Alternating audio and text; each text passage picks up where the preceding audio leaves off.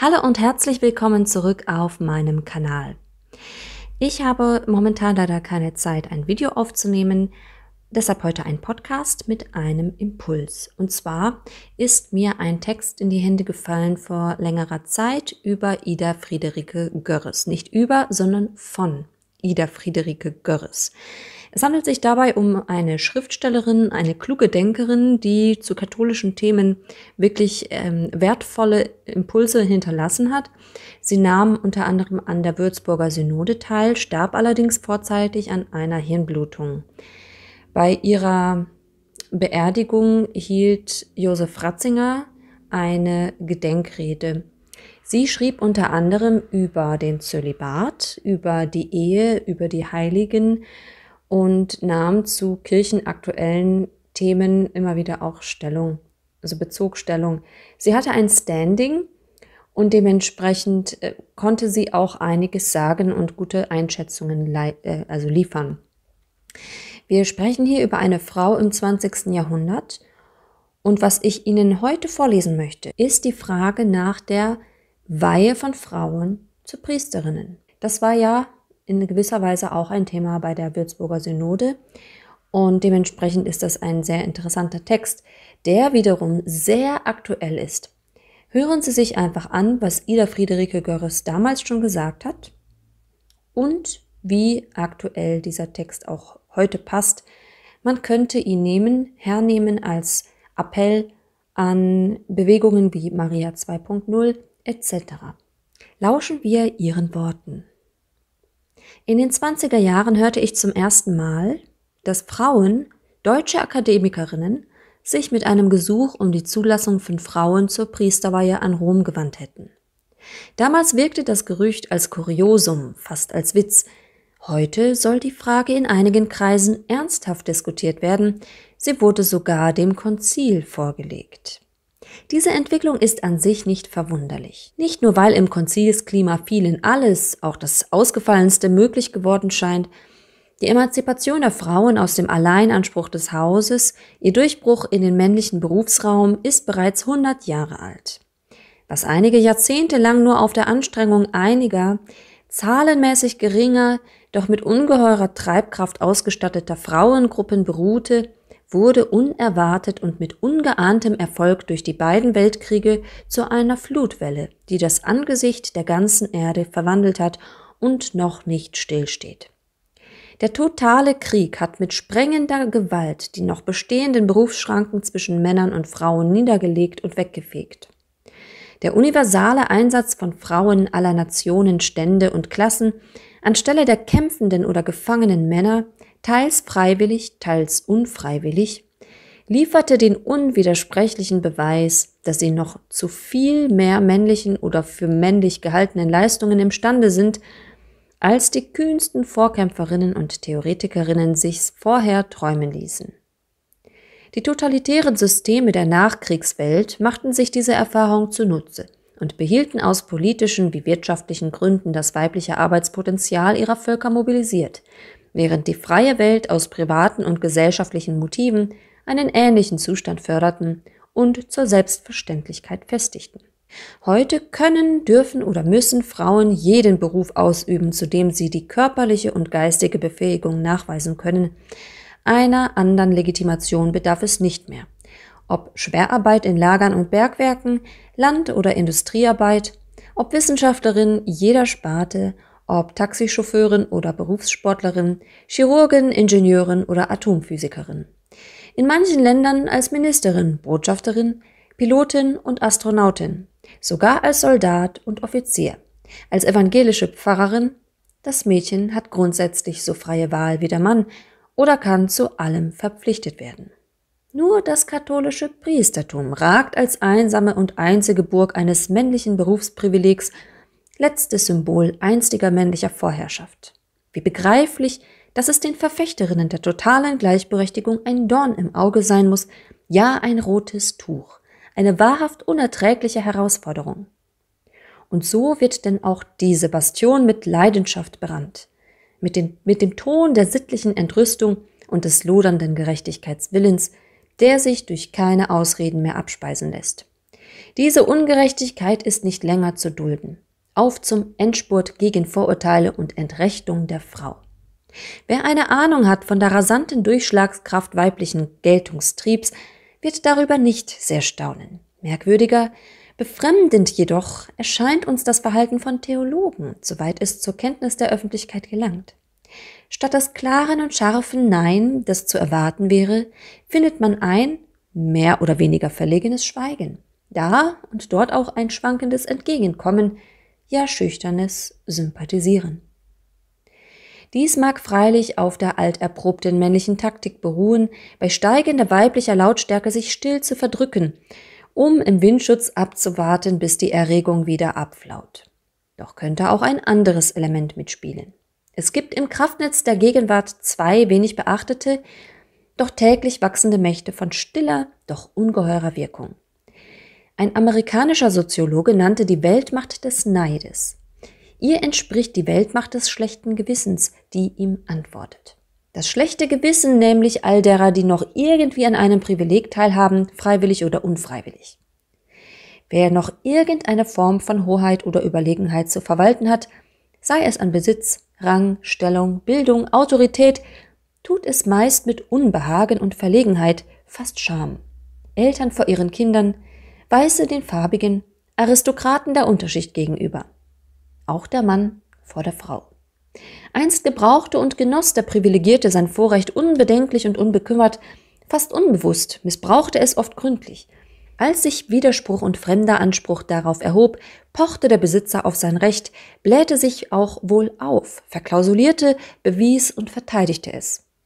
Heute schämt er sich, bezweifelt es im Herzen selbst und neigt dazu, den Angreifer und Ankläger durch äußerstes Entgegenkommen, durch Komplimente, Selbstbeschuldigung und Nachgiebigkeit zu beschwichtigen. Dies gilt auch hier. Diese Haltung finden wir bald allgemein bei Priestern Laien gegenüber und natürlich verstärkt sie sich, wo Frauen als Laien und als Frauen sich als Entrechtete und Unterdrückte um ihr gutes Recht, um seine Wiedererstattung kämpfende gebärden. Dazu kommt freilich noch die täglich wachsende populäre Vorstellung, das Alter einer Institution sei schon an sich ein Einwand gegen sie. Wie und weil bisher die Langlebigkeit als Vorzug gegolten hat. Heute zählt es bereits zu den unbewussten, darum besonders mächtigen Voraussetzungen, dass alte Einrichtungen nur negativ begründet sein können. In Unwissenheit, Vorurteil, Machtkampf, Unterdrückungswillen und ähnlichen Ursachen. Mit vernünftigen und wertvollen Gründen rechnet man von vornherein nicht mehr. Dies erschwert jedem, der für Tradition irgendwelcher Art eintritt, das Gespräch. Denn wie einst der Neuerer befindet sich nun der Verteidiger eines Überlieferten von vornherein im Unrecht und auf der Anklagebank. Doch die Frage nach den Priesterinnen reicht tiefer als der alte Kampf um Frauenrechte und der neue Krieg zwischen Progressisten und Konservativen in der Kirche. In der Gefolgschaft jener, denen es wesentlich um weibliche Positionen zu tun ist, befindet sich jedoch wahrscheinlich noch eine größere Anzahl von Frauen, die nicht für sich, sondern für die Kirche einen Vorteil und Gewinn von ihrer Weihe zu Priesterinnen erwarten. Sie kennen die große Sorge der Kirche um den priesterlichen Nachwuchs. Sie brennen vor Eifer, sich ganz zur Verfügung zu stellen, und bei Betrachtung der priesterlichen Funktionen erscheint es ihnen ganz unbegreiflich, dass und wieso sie eigentlich dazu nicht geeignet sein sollten. Denn praktisch hat die Frau ja schon längst in jeder dieser Tätigkeit ihren Mann gestellt. Dies lässt sich bis ins Einzelne beweisen. Die Verkündigung als Unterricht, Theologie und Predigt ist längst kein männliches Prärogativ mehr. Die konservativsten Kreise erkennen den Beruf der Lehrerin als typisch weiblichen an, und zwar auf allen Sprossen der Wissensleiter vom Kindergarten bis zum Katheder. Jährlich wächst die Zahl der Theologiestudentinnen und der theologische Doktorhut ist nicht schwerer erreichbar als der anderer Fakultäten. Frauen haben sich in allen Sparten als Vortragsrednerinnen bewährt. Warum sollte die Kanzel da eine Ausnahme bilden? Kraft des allgemeinen Priestertums ist die Frau seit jeher zur Spendung der Taufe in Notfällen ermächtigt. Als Hebamme und Krankenschwester übt sie das tatsächlich öfter aus als nicht Geweihte. Geständnisse und Bekenntnisse intimster Art nehmen Frauen als Privatpersonen ungezählt entgegen. Warum also nicht auch die offizielle Beichte? Weibliche Geschwätzigkeit ins Feld zu führen wäre lächerlich, nachdem die Frau ihre, ihre Verschwiegenheit im Arztgeheimnis wie auch im politischen Geheimdienst längst rühmlich bewiesen hat. Assistenz bei der Trauung, betonen die Theologen nachdrücklich, sei so wenig eine Sakramentsspendung wie die Assistenz bei einem Begräbnis. Warum sollte eine Frau beides nicht verrichten, sogar ohne Weihe? Das allgemeine Priestertum befähigt die Frau so gut wie den Mann zum Mitopfer, also Mitvollzug der Eucharistie. Warum nicht den einen Schritt weitergehen und ihr auch die Vollmacht zur Konsekration gewähren? Und was Firmung und Priesterweihe angeht, nach theologischer Lehre ist der Ordo nur einer, bloß in der Jurisdiktion gestaffelt. Und wenn einmal gegen das Recht der Frau auf die Würde der Priesterin kein triftiger Einwand mehr erhoben werden kann, führt ihr Weg dann nicht logisch auch bis zur Bischofsweihe? Der Priester vertritt und verwaltet die Kirche. Frauen sind heute im Vollbesitz juristischer und volkswirtschaftlicher Kenntnisse. Frauen bewähren sich auf der ganzen Welt selbstständig und führend so gut wie ausführend und eingeordnet in Organisationen und Körperschaften aller Art. Was wäre gerade das kirchliche Verbandswesen, was die Caritas ohne sie? Frauen sind Beamtinnen, Abgeordnete, Konsulinnen, Botschafterinnen, von Äbtissinnen und Generaloberinnen gar nicht zu reden. Wenn sie von der Dorfgemeinde bis zur Großmacht ihre Mitbürger vertreten dürfen, warum nicht auch das Gottesvolk, die Kirche? Ja, man könnte sogar behaupten, dass Frauen zu manchen dieser Aufgaben Kraft ihrer weiblichen Ausstattung sogar besser befähigt wären als mancher Mann die stärkere Einfühlung ins Einzelne und Persönliche, die stärkere Kontaktbereitschaft, der Sinn für das Schöne und Würdige, für das Detail, der gewiss dem Kult zugute käme. Sollen alle diese herrlichen Möglichkeiten in der Kirche brach liegen, einem versteinerten Vorurteil zuliebe? Viele dieser Aussagen können wir ohne weiteres annehmen. Doch sie führen uns geradewegs zum Kern der Frage. Ist das Priestertum, das hier umstritten und angestrebt wird, eigentlich überhaupt das konkrete, dogmatisch bestimmte Weihepriestertum der katholischen Kirche und nicht vielmehr eine abstrakte, allgemeine Vorstellung, ein Wunschbild, das weit mehr der Praxis nicht katholischer christlicher Bekenntnisse entspricht? Das katholische Priestertum ist eine Erscheinung für sich, ableitbar nur aus dem Glauben, aus der Lehre, aus der Geschichte, aus dem wachsenden Selbstverständnis der Kirche. Nicht bloß aus den religiösen Bedürfnissen der Gemeinde, schon gar nicht aus Prinzipien und Theorien über Männer- und Frauenrechte, auch nicht aus der Notwendigkeit bestimmter Funktionen, die nach Belieben beliebigen Trägern zugeteilt werden können. Das Ur- und Leitbild des katholischen Priesters ist allein die lebendige Person Jesu Christi, und zwar in seinem Verhältnis zur Kirche. Im Geheimnis seiner vollen und unauflöslichen Lebenseinheit mit ihr. Die alte Lehre, dass Jesus Christus wie der einzige Mittler, so auch der einzige Priester des neuen Bundes ist, umschreibt nur in anderen Worten diese eigentümliche, durch kein Gleichnis voll auszudrückende Zweifaltigkeit. Haupt und Leib ist eins der Bilder, mit denen wir uns behelfen. Ehe das andere zwei in einem Fleische. Doch auch dieses ist unzulänglich, weil die Partner ja verschiedenen Ursprungs sind. Die Kirche aber geht ganz und gar aus Christus hervor und existierte nicht ohne ihn. Darum trifft das von den Vätern unseres Glaubens geliebte Bild von der paradiesischen Ehe den Sachverhalt immer noch am besten. Wie Eva aus Adam zugleich seine Frucht und seine Gefährtin, so entspringt die Kirche aus der Herzwunde des Gekreuzigten. Unzählige Male hat die frühe Kunst dieses Motiv gebildet. Diese Zweifaltigkeit von Haupt und Gliedern bedingt das allgemeine Priestertum. Die Kirche als das Fleisch Christi, seine erweiterte Person, hat Teil an seiner Würde und Vollmacht. Das königliche Volk von Priestern ist diese sichtbare Fülle und Ausfaltung Christi im Raum, in Raum und Geschichte. Die jeweils lebenden Getauften und Gefirmten sind und repräsentieren die Wirklichkeit Kirche, jeder in seinem persönlichen Leben, gemeinsam im Gottesdienst als Gemeinde. Das allgemeine Priestertum kommt jedem Glied der Kirche zu, ob Mann oder Weib. Niemals galt die Weiblichkeit als Hindernis für die Eingliederung in Christus als neues Geschöpf.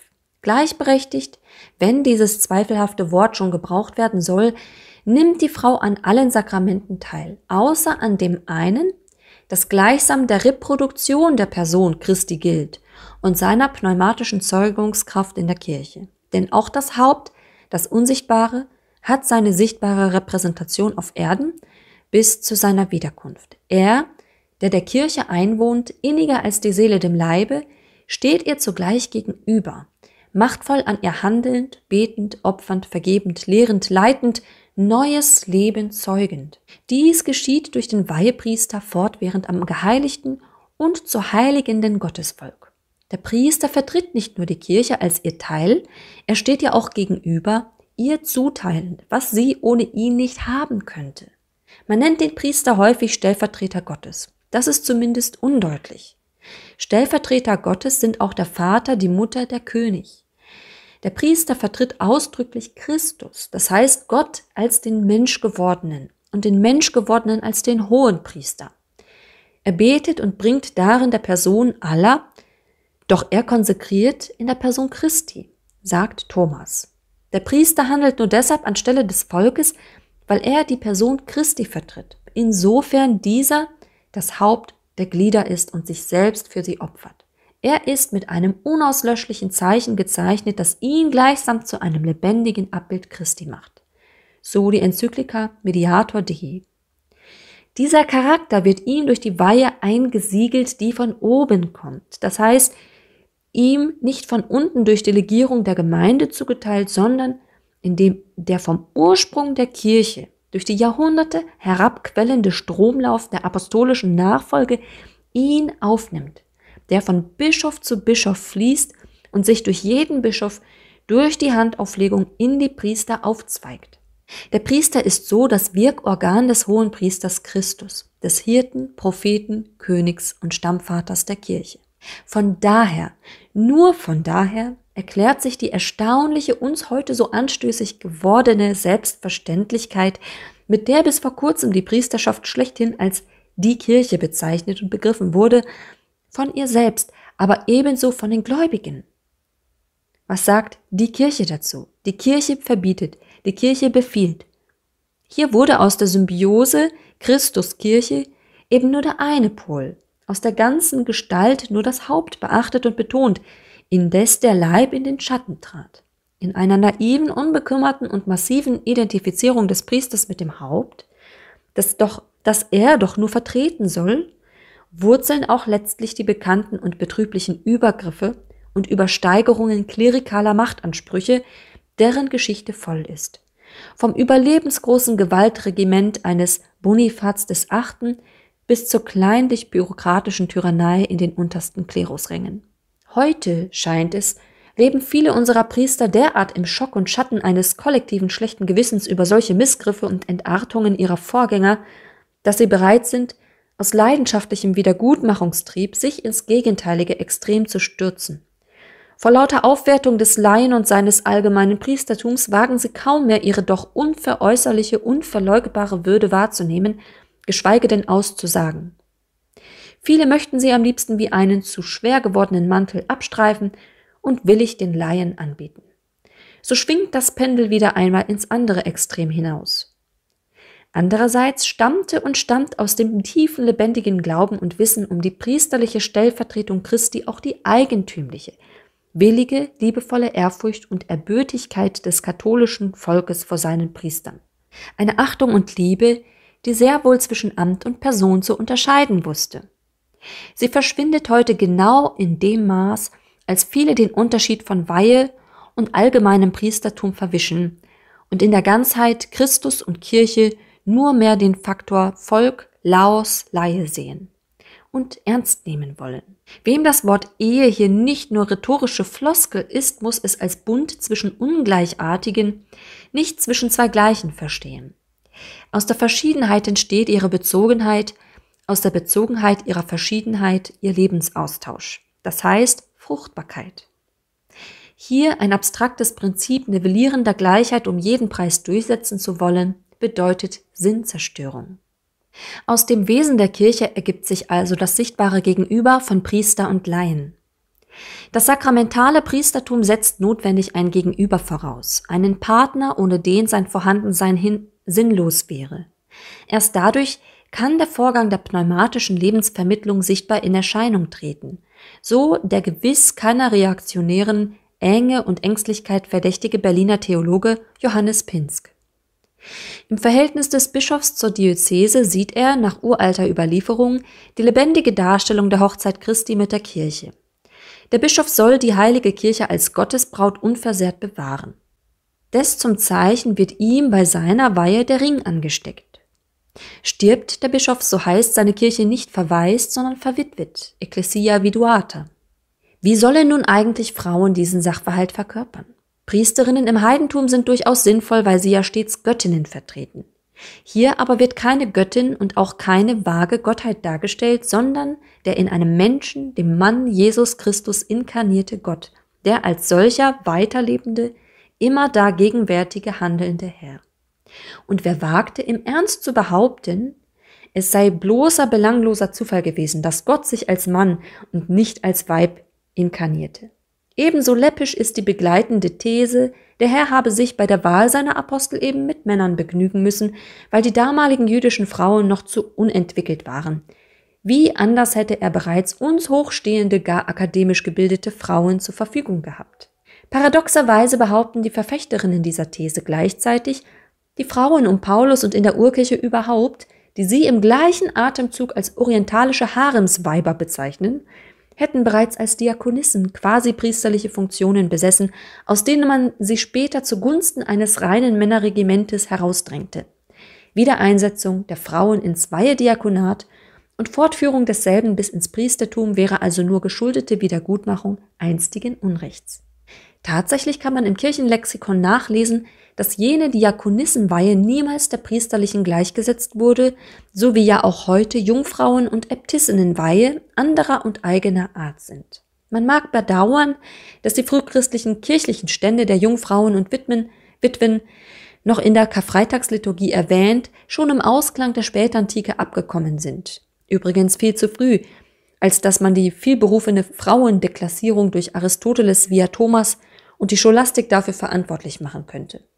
Aber der fast gleichzeitig mit jenem Versiegen auftretende Asketenstand, die neue Elite im Ansehen beim Volk zeitweise den Klerus noch ho hoch überragend, stand von Anfang an und immer den Frauen offen. Die altchristliche Jungfrauenweihe gibt ein herrliches Zeugnis dafür. Man kann sogar annehmen, dass diese neue Möglichkeit allmählich oder rasch die Postulantinnen jener Frühformen weiblicher Berufungen angezogen und aufgesogen hat. Niemand kann sachlich behaupten, dass damit jene weibliche Diakonie in der Kirche erloschen sei, obschon jener erste Ansatz nicht weitergeführt wurde. Er hat sich vielmehr in zahlreiche Formen zerspalten und ist auf andere Träger übergegangen, vor allem auf die weiblichen Orden und späteren Kongregationen. Bedeutung und Umfang dieses Dienstes gottgeweihter Jungfrauen in der Kirche kann überhaupt nicht überschätzt werden. Sämtliche Werke der leiblichen und geistlichen Barmherzigkeit, Unterricht, viele Weisen der Seelsorgshilfe und Mission, auch Pflege des Gottesdienstraumes, der Paramente, der Kultgewänder, Herstellung der Hostien wurden und werden unablässig geleistet, in erhöhtem Maß natürlich in Diaspora und Missionsgebieten. In Verfolgungs- und Notzeiten durften und dürfen Frauen häufig sogar das Allerheiligste aufbewahren und überbringen.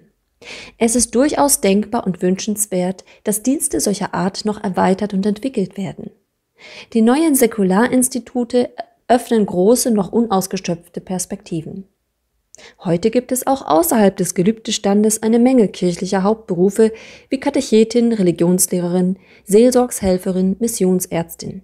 Es hat überhaupt noch niemals so zahlreiche anerkannte Formen weiblichen Apostolates gegeben. Dies alles ist praktisch schon weitgehend das Diakonat, wie es heute für Männer, selbst für verheiratete Laien, so nachdrücklich angestrebt wird. Warum sollen dann Männer dazu geweiht werden, Frauen aber nicht? Sind wir etwa der Weihe unwürdig? Ist die Frau zu unmündig, zu minderwertig dazu? Ist schon beleidigt gefragt worden. Aber muss denn alles auf die Ebene von Prestige und Kränkung gezogen werden? Mir scheint, dass gerade diese Gegenüberstellung der Geschlechter im tatsächlich geübten Diakonat ein schönes Beispiel für die Unterscheidung ergibt. Die Frau vertritt die Kirche als Leib, wenn sie diakonisch handelt. Sie wirkt dann aus der Kraft des allgemeinen Priestertums, aus der Weihe durch Taufe und Firmung. Es bedarf hier keiner anderen. Der Mann jedoch, der nicht nur diese Tätigkeiten an sich verrichten möchte, sondern dies als Hand, als Organ des Bischofs, wie das Diakonat, das Weihediakonat heute theologisch geschildert wird, der also im Bereich dieser Dienste den Bischof vertritt, soll dazu wirklich in das Kraftnetz der Stellvertretung des Hauptes Christi hineingehoben werden, eben durch die Weihe. Mit Ergriffenheit las ich einmal, dass in einer kleinen Diaspora-Gemeinde die Leute der jungen Arbeiterin, die unbestellt die beschriebenen Dienste zu leisten pflegte, den liebevollen Spitznamen Frau Kirche gaben. Eine durchaus richtige Intuition. Nie wäre ihnen eingefallen, ihren Pfarrer, nicht einmal ihren Bischof Herr Kirche zu nennen. Darüber hinaus ist, von der männlichen Theologie her, immer und überall die Frau als Symbol der Kirche anerkannt worden. In jeder Mutter, jeder getreuen und fruchtbaren Ehefrau, in der Braut, in der Jungfrau. Auch dies ist echte Repräsentation durch das Sein als Erscheinung, nicht nur durch bestimmte Funktionen. Angesichts dieses unermesslich reichen und längst noch nicht ausgeschöpften Angebotes an weiblichen Wirkungsweisen in der Kirche bleibt es unerfindlich, warum einige Frauen, die sich für besonders religiös begabt und begeistert halten, dieses Riesenfeld insgesamt verschmähen, um sich auf die spezifische männliche Form des Amtes zu kaprizieren und aus dem Verzicht daraus eine Tragödie zu machen. Ich habe noch nie bemerkt oder gehört, dass Männer etwa ihren Ausschluss aus der Mutterschaft verwandten Erlebnissen und Leistungen als Beleidigung und Entrechtung behandeln und eine Verschwörung der Weiber dahinter wittern. Nur ein sehr tiefer Minderwertigkeitskomplex macht aus allem ein Vorrangsproblem, kann solche Überkompensierungstendenzen entwickeln und so unversöhnlich und unersättlich auf unerfüllbaren Ansprüchen beharren. Solche Haltung erinnert peinlich an das Märchen vom Fischer und seiner Frau. Dabei haben wir noch mit keinem Wort die sekundären, doch nicht minder gewichtigen Einwände gegen weibliches Priestertum gestreift. Denn nicht nur Gründe theologischer und dogmatischer Art, sondern solche aus der menschlichen Natur lassen den Mann auch für die Praxis dieses Amtes geeigneter erscheinen. Selbst die Verfechterinnen der Priesterin können kaum fordern, dass nur Mannweiber oder Neutren hier zugelassen werden. Die weibliche Frau würde gerade ihren besonderen und wertvollen Begabungen die sie anderswo segensreich und unentbehrlich entfalten kann, hier eher als Handicap denn als Förderung erfahren und ihre typischen Schwächen als haushohe Hindernisse. Die männliche Kraft der Abstraktion mag sie auch häufig als Kühle und sogar Armut erscheinen, ergibt unstreitig eine bessere, unentbehrliche Ausrüstung zur Seelsorge. Der Priester soll allen alles sein und das nicht als Privatperson, sondern anstelle Christi. Er steht wie kein anderer Beruf im ständigen Ansturm der Begegnungen und soll sich ihnen stellen. Er muss von der eigenen Privatsphäre wie von der fremden absehen können. Er muss eine unabdingbare Distanz und Zurückhaltung üben, eine Unpersönlichkeit bis zur Anonymität, die auch die Anonymität zum Beispiel des Pönitenten respektiert. Diese Selbstverhüllung mit echter Güte und Teilnahme zu verbinden, ist ja gerade die hohe Kunst priesterlicher Zuwendung. Die Frau mit ihrem Drang, alles persönlich zu nehmen, auf sich zu beziehen, den anderen in ihr Gefühlsleben hereinzuholen, ihn für sich zu interessieren, ins Detail und ins Intime zu gehen, ihn durch Affekte zu beeinflussen, ihn festzuhalten, sie wäre hier schwer überfordert.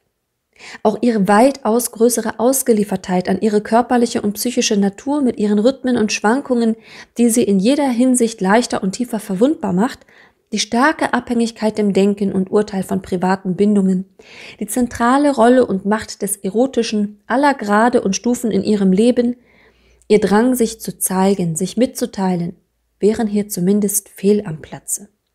Allein schon die unbewusste und ungewollte Ausstrahlung der Weiblichkeit ist ein Phänomen, das sich dem Willen und der Kontrolle der Trägerin ebenso entzieht wie die männlichen Reaktionen, die sie auslöst. Die enorme Kollektivdisziplin der Klöster und der tabugeladene Schutz ihrer Tracht fielen hier ja weg, ebenso wie die Tarnkappe der Säkularinstitute. Der Priester ist immer exponiert und immer öffentliche Figur. Die Priesterin wäre es erst recht. Jeder weiß um die Probleme, die sich aus dem Gegenüber von Priester und Frauen ergeben. Die Konstellation Priesterinnen, Männer würde die Variationsbreite möglicher Konflikte vervielfältigen. Wer nur etwas Erfahrung, nüchterne Menschenkenntnis, Fantasie und nicht zu vergessen Humor besitzt, könnte ohne den Punkt auf jedes i zu setzen wohl abschätzen, wie viel peinliche, groteske, heikle, komische und vollends unerträgliche Situationen sich zwangsläufig ergeben müssten.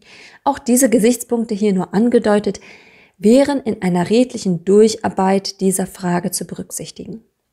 Auch abgesehen von der theologischen Basis sehe ich keinen einzigen sachlichen Grund, um der Geltungssucht einer Handvoll Frauen willen die Glaubenserfahrung und die Vernunft von Jahrtausenden zu missachten. Unser Auftrag, unsere Chancen als Frauen im Gottesvolk und für das Gottesreich sind so reich, so vielfältig, so notwendig und unentbehrlich, dass wir es wirklich nicht nötig haben, die einzige verschlossene Tür zu bestürmen. Soweit Ida Friederike Görres über die Weihe von Frauen zu Priesterinnen. Ich möchte das so stehen lassen und auf die Argumente nicht im Einzelnen eingehen, aber vielleicht nur ein Blick aus dem Jahre 2024 zurück auf Frau Görres. Die Argumente, die vermeintlichen Argumente, die immer wieder erklingen und die sie zu widerlegen versucht, sind im Grunde dieselben Argumente auch heute noch. Wir merken, das, was schon bei der Würzburger Synode an Argumentarien zu, zurechtgelegt wurde für eine Pra Frauenordination, das sind dieselben Argumente, die auch heute kommen.